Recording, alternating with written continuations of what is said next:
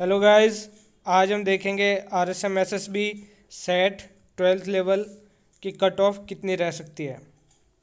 General category के लिए 150 के आसपास रहेगी ओबीसी के लिए 140 एससी कैटेगरी के लिए 125 एसटी के लिए 120 ईडब्ल्यूएस कैटेगरी के लिए 135 और एमबीसी के लिए 130 तक कट ऑफ़ रह सकती है। Thank you.